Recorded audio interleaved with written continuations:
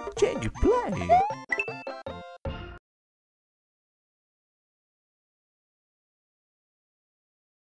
E aí pessoal, bem-vindos ao canal Digplay, que quem fala é o Diego. O vídeo agora é um 3DS News. Para quem não conhece esse vídeo, ele é um vídeo que eu capto várias notícias de 3DS e faço um compacto aqui num vídeo só. Por que, que eu resolvi fazer o 3DS News, pessoal, para quem é novo aqui?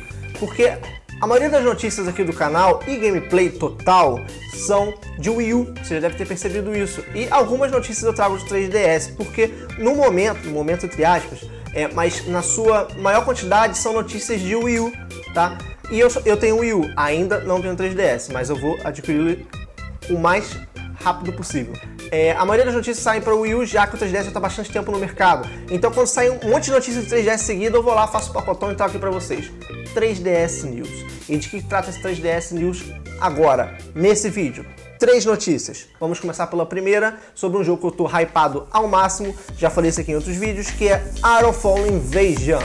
O lançamento europeu de Ironfall Invasion foi anunciado para dia 13 de fevereiro, somente na Europa. O lançamento americano não foi divulgado ainda, mas a empresa disse que até o final do mês sai. Não foi dado dia, que nem no lançamento europeu, mas ela afirmou que até o final do mês de fevereiro vamos ter Ironfall Invasion no nosso eShop. Lembrando que Ironfall Invasion somente vai sair para o eShop, não terá versão física. Mas temos mais algumas novidades sobre Ironfall. Foi dito que o jogo vai ter dois pacotes no eShop. O primeiro pacote vai ser somente single player, mais baratinho, e o segundo pacote de multiplayer, também baratinho. Você pode comprar os dois separadamente ou um bundle com os dois juntos. Obviamente vai ser mais barato do que comprar os dois separados, beleza? Nós não sabemos ainda o valor em dólar, já que não foi divulgado ainda a data nem nada para os Estados Unidos. Porém, foi dito que se você adquirir o pacote de single player e depois o pacote multiplayer, você vai ganhar uma arma.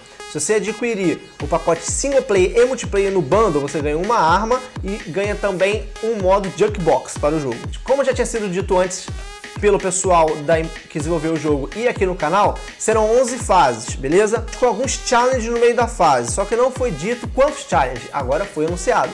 São 78 challenges, galera, então tem bastante coisinha aí para fazer além das 11 fases inteiras, linearmente. E foi dito também o tempo de jogo. Vão ser de 7 a 8 horas as 11 fases. Só não ficou muito específico se seria as 11 fases com os challenges ou não. Acredito que não, porque 78 challenges acredito que vai dar um pouquinho mais de tempo do que 7 8 horas. Mas, de qualquer forma, você vai comprar ciente que serão 7, 8 horas de gameplay. Eu acredito assim que para um portátil, é, isso é um, é um bom tempo de gameplay. A gente sabe que Pokémon X, Pokémon Ômega leva horas e horas, tem vários jogos que levam bastante tempo, só que um portátil geralmente se joga menos, né? É, menos tempo, não, não menos em quantidade total, né? Mas eu acredito que 7, 8 horas para um jogo desse tipo de terceira pessoa é um tempo razoável para um portátil, até porque o jogo não vai vir preço full, tá galera? Tenho quase certeza que o jogo deve vir beirando, sei lá, 20, 30 dólares no máximo. Não acredito que venha 40 dólares, que é o preço de um jogo full para o Nintendo 3DS. Foi dito também que o multiplayer, tanto local quanto online, vão ter seis arenas, beleza? Nessas arenas você pode jogar 3 contra 3 ou Free for All. Saindo de Ironfall Invasion, vamos entrar em Majora's Mask 3D, esse grande remasterização anunciada para o 3DS que sai dia 13 de fevereiro. Ganhou notas altíssimas já nas críticas especializadas. Fonte pessoal, metacritic.com. Pode acessar lá que você vai ver todas essas notas que eu vou falar aqui para vocês. Não listei todas, obviamente, mas temos aqui as mais altas e as mais baixas, tranquilo? Além dessas notas do Metacritic.com, tem também a nota da Famitsu, que eu vou começar por ela. A Famitsu deu 9 9 10, que são quatro notas, geralmente sempre que ela dá. Ou seja, ganhou 37 de 40, nota altíssima padrão Famitsu, já que eles são bem exigentes.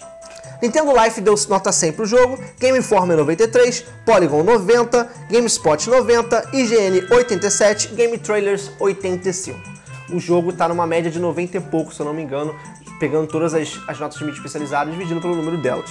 É uma nota excelente, é um remake, obviamente, o jogo já tinha sido muito aclamado no lançamento do 64, mas é uma prova de que esse remake veio com adições, é um remake que veio melhorado, um remake que vale a pena você comprar quem jogou para matar saudade e quem não jogou ainda para poder se divertir com esse jogo maravilhoso que é Majora's Mask 3D.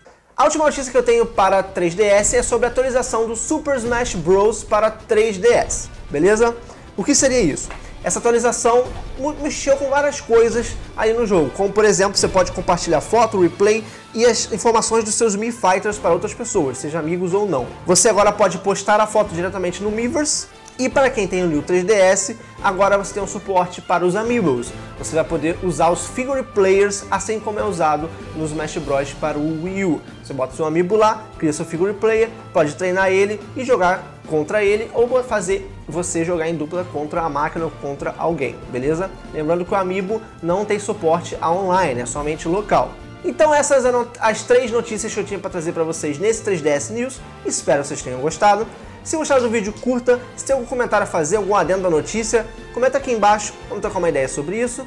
Se tem algum amigo que gosta de Nintendo e outras DS para ver gameplay, convide para cá, pede para se inscrever, fazer parte do canal aqui junto com a gente. Até o próximo vídeo, pessoal. Valeu!